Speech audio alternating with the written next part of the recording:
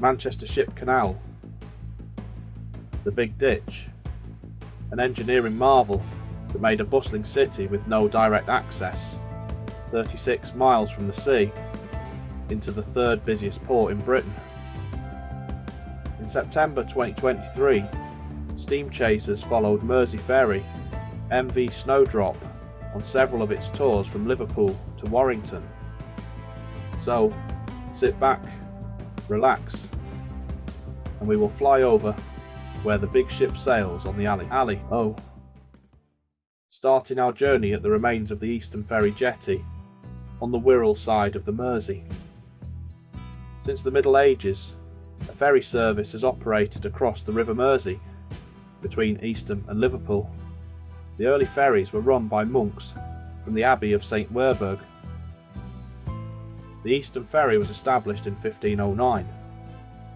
Paddle steamers were introduced in 1816 to replace the sailing boats, but the demand for a service declined in the 1840s with the opening of a railway.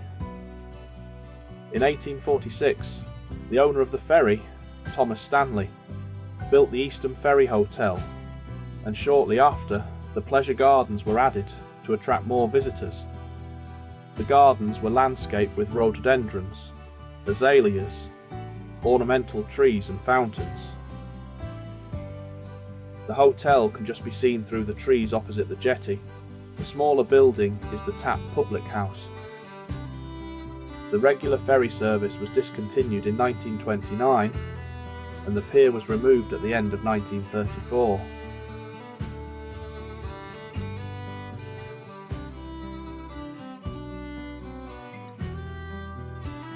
Snowdrop now waits for Scald to exit the Manchester Ship Canal through Eastham Locks. Scald is a 1,949 gross tonnage hopper dredger under the flag of the Netherlands, built in 2007. A trailing suction hopper dredger is used to maintain navigable waterways. This is made possible by large powerful pumps and engines able to suck sand, clay, silt and gravel, deepening the canal that is threatened to become silted. This material is used to construct new land elsewhere or replace sand eroded by storms or wave action on the beaches. Snowdrop now enters Eastham Locks, which form the western end of the Manchester Ship Canal and are the largest locks in the UK. Queen Elizabeth II dock became operational on the 19th of January 1954. The dock was built to provide berthing facility for large tankers that could not be accommodated on the existing canal due to their size. Simultaneously, Eastham Oil Terminal was built nearby, and pipelines were laid to link the dock and storage facility the Stanlow Oil Refinery near Ellesmere Port. With a depth of 40 feet, the four berths are each capable of handling tankers of up to 30,000 gross tonnage.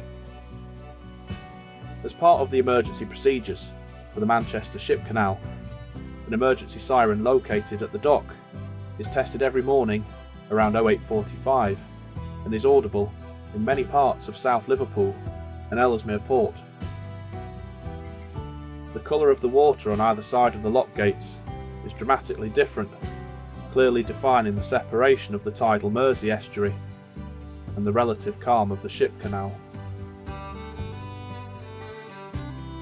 now at the section known as Manisty Cutting, named after the departmental engineer Edward Manisty, who was in charge of the construction of this section. Mount Manisty is the name of the large man-made hillock seen behind the ship. The mound, which is 100 feet tall, was created from earth excavated during the building of the ship canal and is uninhabited apart from a vast population of rabbits. The vessel Mengus is a Liberian liquefied petroleum gas tanker returning out to sea from Stanlow Oil Refinery. On this beautiful clear day, you can see Liverpool John Lennon Airport over the water in Speke, and beyond all the way back to Liverpool itself.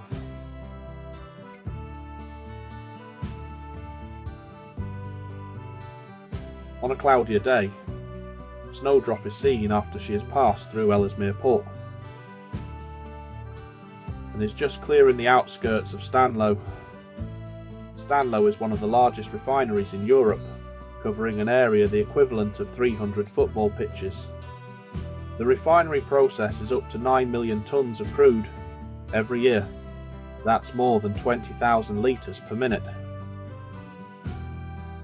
Distribution of products from Stanlow is mainly via road and pipeline. The remainder of the products leave via the Manchester Ship Canal. Stanlow is the second largest in the United Kingdom after Fawley Refinery in Hampshire. It produces a sixth of the UK's petrol needs, and it is also a large producer of commodities such as jet fuel and diesel.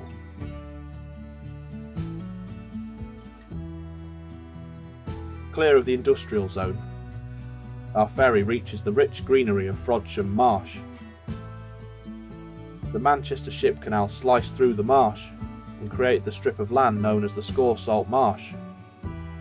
It is now over two kilometres long, bounded in part by gabions and elsewhere by vegetated earth banks.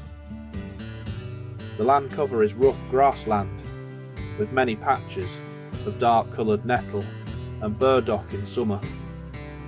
Cattle and sheep graze Frodsham Score and are transported across the ship canal by raft from the landing stage near Frodsham Marsh Farm. Frodsham Score is not accessible to the general public, but is visited by ornithologists who conduct monthly bird counts.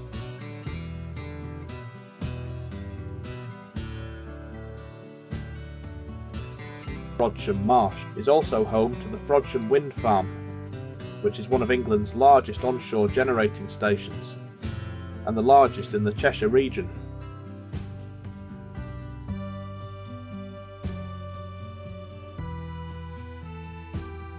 As Snowdrop turns into the current of the River Weaver, you might be able to make out the lock on the opposite bank. This is Weston Marsh Lock, and it allows the River Weaver navigation access to the ship canal.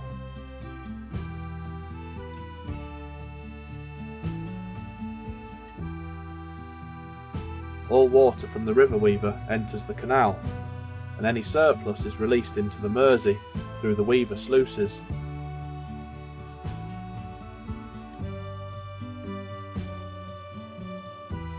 Seen in the foreground, a snowdrop passes over them.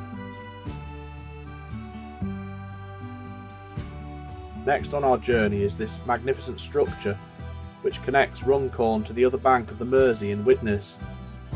It was opened in 1961 as a replacement for the Widnes Runcorn Transporter Bridge that was built in 1905.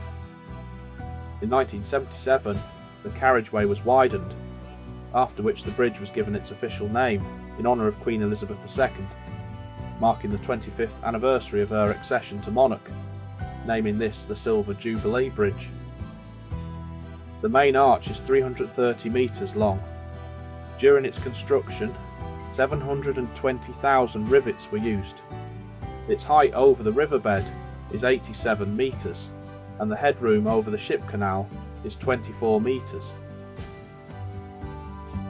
The bridge transformed Runcorn from an effective cul-de-sac into a town with through traffic. Road communications between North Cheshire and South Lancashire were immediately improved and trade at the port of Runcorn increased sixfold between 1960 and 1970. Traffic on the bridge continued to grow to over 80,000 vehicles a day, and there was frequent congestion. To alleviate this, a further crossing was built, known as the Mersey Gateway Bridge. This is a six lane toll bridge to the east of the Silver Jubilee Bridge that opened on the 14th of October 2017. Following the opening of the Mersey Gateway, the Silver Jubilee Bridge was immediately closed to vehicles for refurbishment. It reopened, also as a toll bridge, to all traffic on 26 February 2021, with a single lane of vehicle traffic in each direction.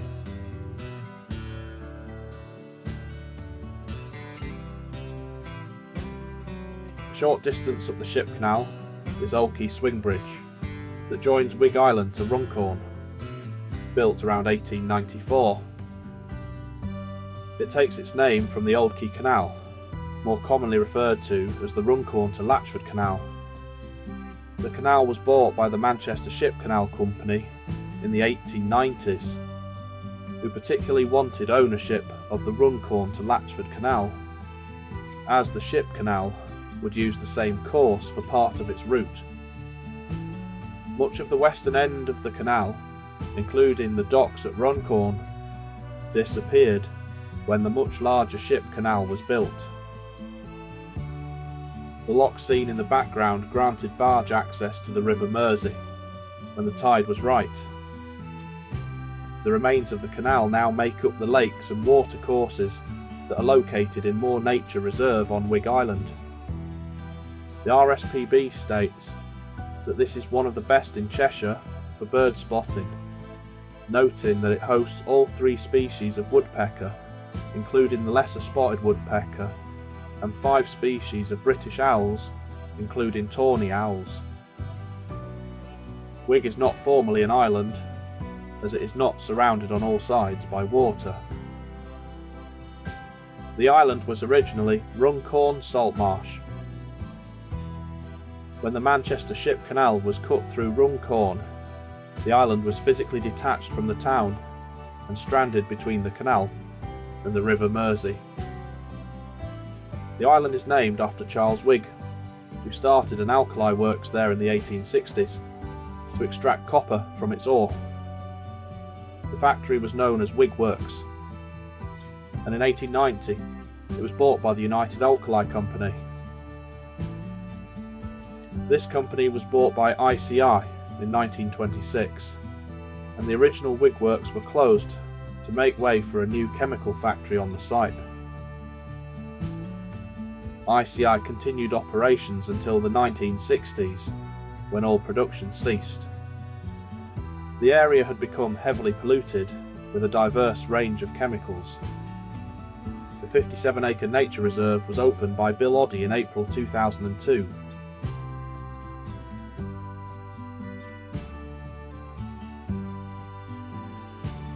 As Old Quay Bridge closes behind our tour, so must this video.